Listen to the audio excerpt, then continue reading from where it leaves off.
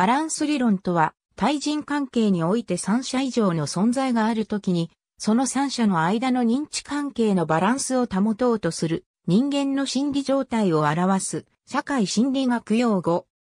アメリカの心理学者であるフリッツ・ハイダーによって提唱された。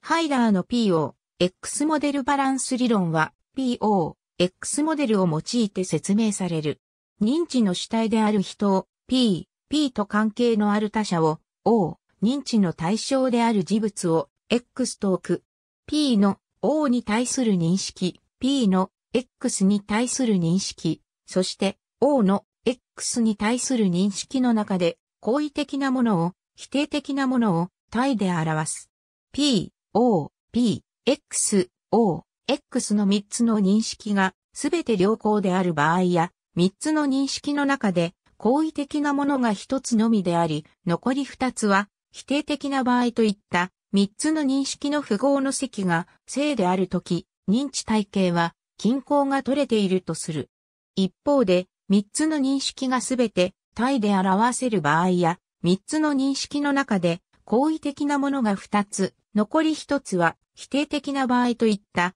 三つの認識の符号の積が負であるとき、認知体系は不均衡であるとする。認知の主体である P は認知体系が不均衡であるとき、不快感を覚える。そのため、P は認知体系の不均衡を解消するために、O に対する認識、X に対する認識、O の、例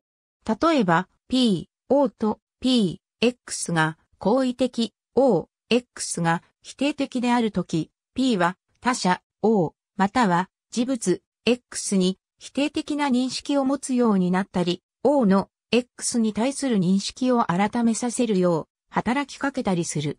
どの方策が採用されるかについては、少ないコストで変化させやすいものが選ばれることが多い。P を、私、O を、同級生、X を、サッカーとする。認知体系の均衡が取れているのは、私も同級生も共にサッカーを好んでいるために、私が同級生を好んでいるとき、そして私はサッカーを好んでいるが、同級生はサッカーを嫌っているために、私が同級生を嫌っている時である。つまり、好みが一致するために、同級生を好いている時と、好みが不一致のために、同級生を嫌っている時に、認知体系は均衡である。逆に、認知体系が不均衡なのは、私も同級生も共にサッカーを好んでいるのに、私が同級生を嫌っている時、そして私はサッカーを好んでいるが、同級生はサッカーを嫌っているのに、私が同級生を好んでいる時である。